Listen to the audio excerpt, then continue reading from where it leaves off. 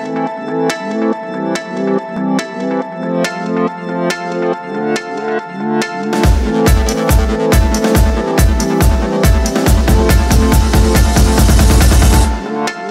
my name is Maria Calanni and I'm a digital artist.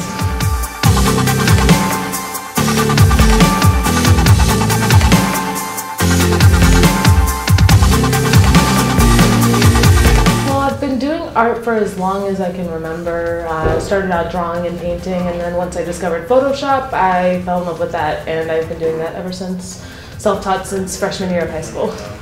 Um, starts out simple with like one simple design, and then I multiply it into a symmetrical design that's really more complex. And uh, yeah.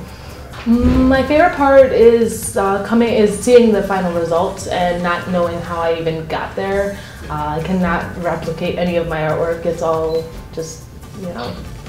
Well, I'm really hoping to get a job graphic design wise. Uh, not sure exactly. Anything working in computers and art, I am okay with. As long as I am in the art community, I am okay with that.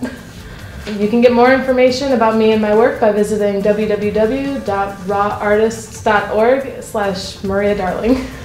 My name is Maria Calanni and I am a raw artist.